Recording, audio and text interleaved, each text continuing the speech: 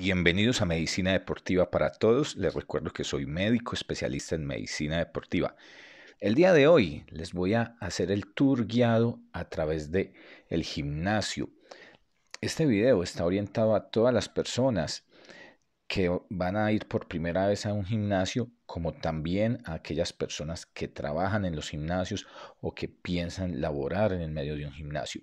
La primera zona con la cual nos encontramos al ingresar a un gimnasio es la recepción y es la zona más importante porque desde este lugar usted será guiado y le harán una inducción básica de lo que es el gimnasio, de los servicios que, con, el, con los cuales cuenta el gimnasio.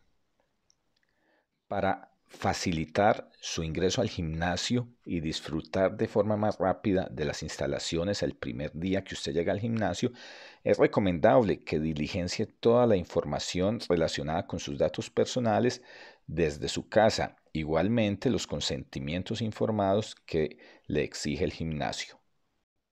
Y la primera zona de entrenamiento con la cual nos encontramos es la zona cardiovascular. En la mayoría de los gimnasios colocan esta zona como la primera zona con la cual usted se encuentra al acceder a las instalaciones. En este caso estamos observando los equipos que en inglés llaman las treadmill y en español las conocemos como bandas caminadoras, otras personas les dicen las bandas trotadoras. También podemos encontrar este, estos equipos con el nombre de bandas sin fin. Y hay una serie de características que debemos tener en cuenta y es que para las personas de mayor edad que nunca han estado en este tipo de equipos, pues se recomienda la asesoría de un entrenador que le enseñe a cómo iniciar el equipo, a cómo interrumpir el equipo, que no vaya a tener una caída, que le enseñe la velocidad adecuada que debe utilizarse en este tipo de equipos. Estas bandas cuentan con un cordón que se fija a la cintura, en este caso lo vemos acá colgando, este cordón, si usted se va a caer, pues es traccionado y el equipo se apagará de manera inmediata. Nos encontramos observando ahora otro equipo que recibe el nombre de elíptica. Una de las características con las cuales siempre se resalta este equipo es que constituye lo que se llama ejercicio de bajo impacto. Es un ejercicio en el cual los pies siempre conservan el contacto con la superficie, o sea, no hay un golpe contra la superficie subyacente y vemos acá cómo se hace el deslizamiento. Este equipo es una simulación de lo que es el esquí nórdico o esquí de campo traviesa y vemos cómo la persona levanta el pie y esta es la manera adecuada como se realiza el esquí nórdico. Siempre están levantando la parte posterior del pie, o sea, el talón, pero en aquellas personas que de pronto pueden llegar a percibir sensación de algo de entumecimiento o dolor en la parte anterior del pie, que básicamente lo describen como una especie de calambre o de entumecimiento leve, se les recomienda que entonces hagan el apoyo completo del pie, o sea que el talón no sea levantado al realizar este ejercicio. Y el tercer equipo con el cual nos encontramos en la zona cardiovascular es este conocido con el nombre de recumbent.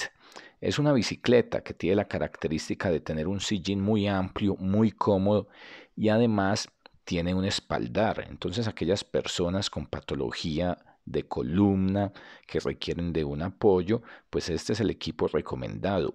Tiene igualmente una gran ventaja para las personas con artrosis de rodilla y es que el peso corporal es soportado por el sillín y no por las rodillas. Adicionalmente, a este equipo se gradúa la intensidad a la cual queremos realizar el ejercicio.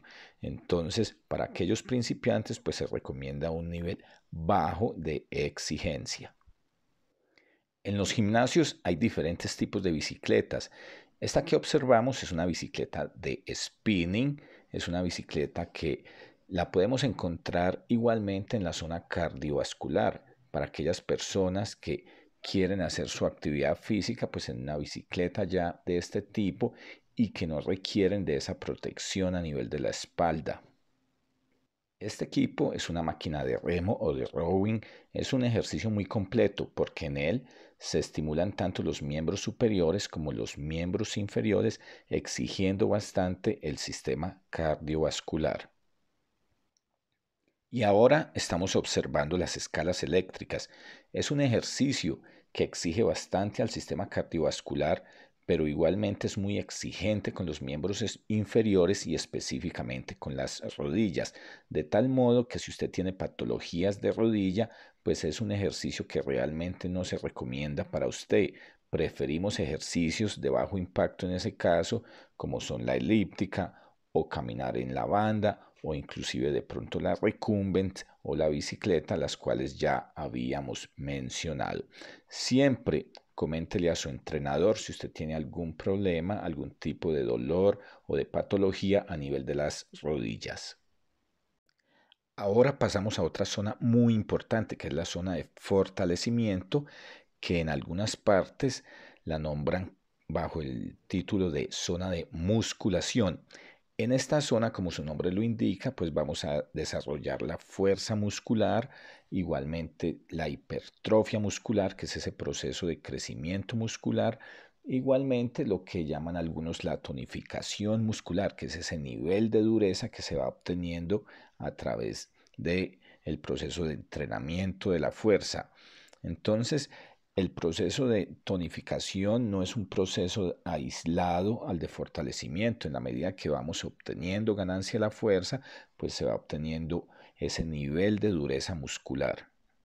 Ya en esta zona de fortalecimiento o de musculación encontramos diferentes clasificaciones para el, tipo de ejercicio que realizamos de acuerdo a las características de los equipos. Es así como encontramos equipos con pesos libres como estos que son las barras en el deck.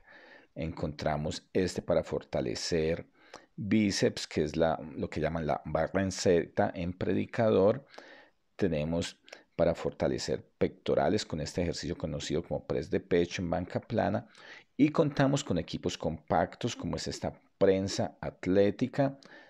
Luego contamos con esta hack Igualmente, estos dos ejercicios mencionados anteriormente son para fortalecer miembros inferiores.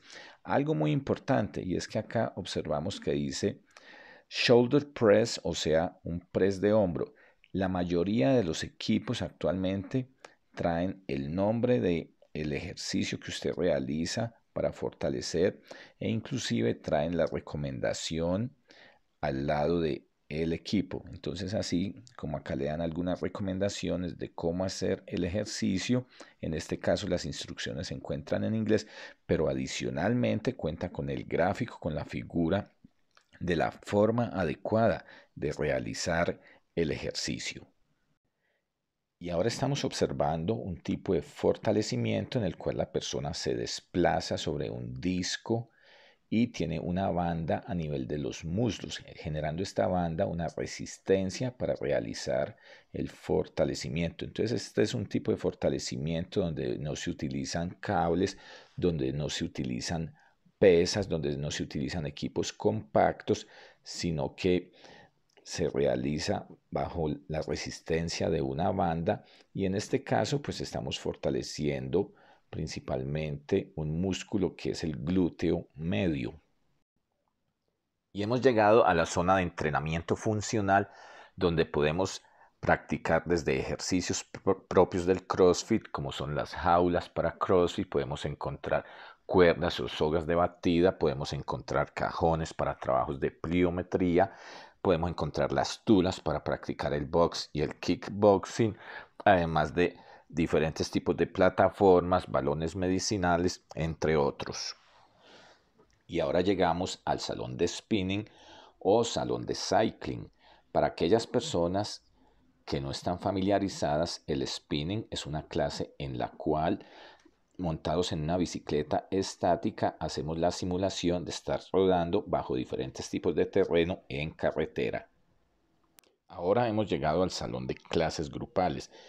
En estos salones se realizan diferentes tipos de clases, desde clases de rumba aeróbica, yoga, clases de pilates, clases de reducción de tejido graso, clases de fortalecimiento y tonificación de zona abdominal, clases de entrenamiento de suspensión, de kickboxing, clases de stretching, clases de propiocepción y diferentes tipos de clases funcionales, todo en este mismo escenario.